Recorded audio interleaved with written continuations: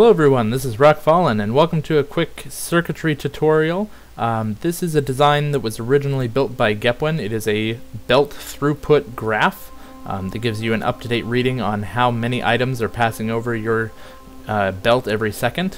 Um, I've made some modifications here and uh, some tweaks to make it work a little bit better for us, so uh, I will have a quick tutorial here on how it works in a moment. If the only reason you're here is to get the blueprint itself, that's great. There are a couple of quick things I want to cover before you leave, because otherwise it's not going to work correctly. So, uh, the first thing you need to know is this box right here, this constant combinator. When you first set down this blueprint, you need to come in here after it's completely set up, and turn this on, and then turn it back off. This 1R signal is a reset signal. If you don't send that reset signal through this green line right here, this graph will never move. It'll just blink at you. So that is the most important thing. Once you've done that, there's this con constant combinator over here, which tells it what kind of belt it's using. All of these should be set to zero, except for the one that is the type of belt you've got this combinator here connected to. So you can see here we've got this red belt reading into this machine, so we've told it we have one red belt connected. This also can be used for additional math. So for instance, if you want to use an average, you could do something like this, and have two of those going, and then you could set this to 2 and it would still give you the right number. So that covers the basics. You are now set to use this blueprint. If you want to stick around, there's going to be a quick tutorial here on how all the circuitry works, and hopefully you can utilize this blueprint in your own worlds. I'm glad to see you're still here, so we're going to move on with the tutorial here on how this thing works. Um, it is a little bit complicated, so uh, if you get a little bit lost, that's fine. Just leave comments in the comment section down below, and I will answer any questions that you have. Um, we're not going to cover this circuit over here because all this circuit over here does is just vary the number of arms that are putting items on the belt so that we get a varied amount here so that the graph continues to change. So, um, I will go over the basics of how this works. The most important first part is this piece right here where it's connected to the belt. This has to be set to read belt contents, but not enable disable because that'll stop the belt. Just set it to read belt contents and set it to pulse, which means it sends out a signal every one tick, rather than hold, which sends out a continuous signal.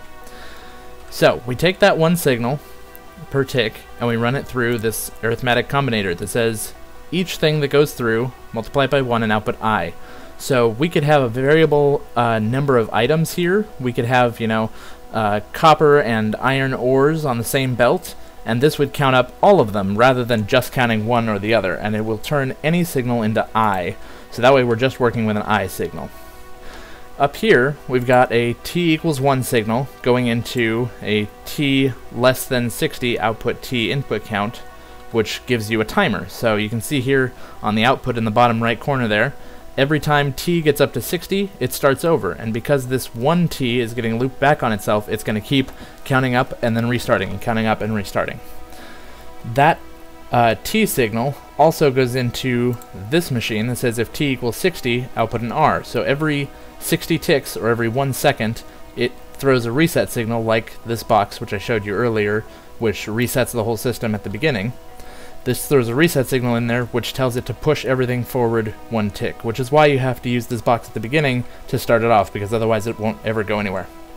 So, going back here for a second, we take the I signal and we take the T signal, and we throw them both into this machine. This machine says if T is less than 60, output I, so that way it only outputs I until the timer goes off, and then it sets the I back to zero. So then we take it over here and we go i times 10 so that we can uh, get a percentage base for the graph here. Since the graph is actually 11 lights in length, um, the last one is set to 0. Well, actually it's set to negative 1, so um, anything greater than negative 1 means it'll be lit. So the bottom row is always lit up, um, but when it gets down that low it's just a, a red line because the belt is empty, which you'll see here in just a moment.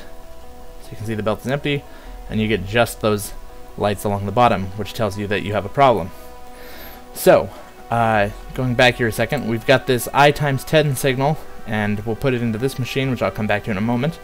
Here, I've split out the other part of our uh, setup. We've got our belt inputs. So we are telling it we're putting in one red belt's worth of um, I signal, basically. Um, each of these machines is set up to multiply however many belts it's feeding in by the number of items per belt. So this belt gives you 26.67 items per second. So this rounds down and it does the number of belts you put in, so one belt times 26 output Z. And that works for this one as well. You get 40 belts on a blue belt, or 40 items on a blue belt, and 13 items again rounded down on a yellow belt. So whichever belt you're reading, it outputs the number of items per second in a Z signal. So this one right now is 26, which then goes back over to this machine, where we have our I times 10 and our Z of 26, and we take I and divide it by Z to get the percentage out of 100 of the items per second. And then we feed it into this machine over here.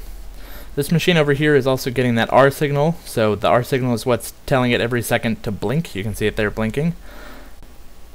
As long as R equals 1, it outputs its input count. So every time you get that one tick of R through here, it sends its signal through. And then that R signal also comes in here so that when R is greater than 2, it outputs its input count. So basically what's happening here is this R gets passed into this machine and out the other side. But it also gets passed into this machine at the same moment.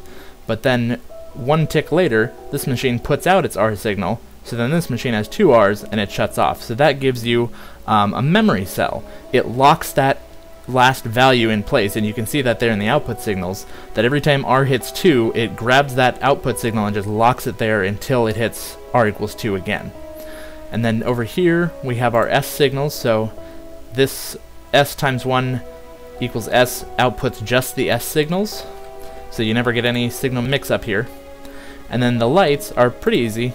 S greater than negative 1, so anything will have this bottom row lit, and then S greater than 0, S greater than 1, etc., all the way up to S greater than 9 or 10 because we should never get a signal more than 10 because that means we've got a full belt if we get 100% which is 10 um, then when the signal passes through there it comes back down here for some quick coloration this is something that I added onto this blueprint a while back um, basically what it says is, is, if S is less than 4 so 3 2 1 or 0 uh, output a red signal and so you can see there it was only 3 so put out a red signal and then when S is greater than 3, put out a yellow signal. So when S, S pumps up here to 3, it turns yellow. And the whole line is yellow as it gets passed down. And then we go over to the last one here. S is greater than 6 equals green. And because, let me pop over there. Oh, right, it's not in there.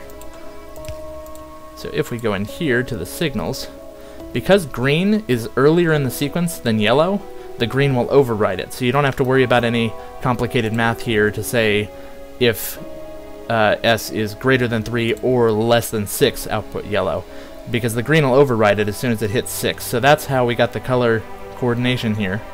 Um, and again, this is a very spread out version so you can see it. When you actually get this blueprint, you just place it down, and I'm going to have to give it a little bit of power, I think. Actually, no, it's already in the power lane. So, if we hook this up to a belt, and I'm just going to run this over here like this, so that I can just take off the same belt there, you'll see it's just kind of blinking at me. And that, again, is because you have to reset it. So if you turn the reset on for a second and then turn it back off, now your graph should work correctly. Although it looks like I didn't place a light there. There we go. Well, I think we've pretty much covered everything there is to cover on this blueprint. Uh, feel free to use it in any of your worlds, and uh, if you want to share those with me, you are always welcome to put them down in the comments along with any feedback or questions. Um, I may do some more circuitry videos like this if anybody has requests that they would like to see done, so uh, make sure to put those in the comments as well. And let me know if you enjoyed this. Leave a like, because I don't make videos if people don't enjoy them, so, you know. Uh, leave your feedback down below, and I'll see you guys again soon.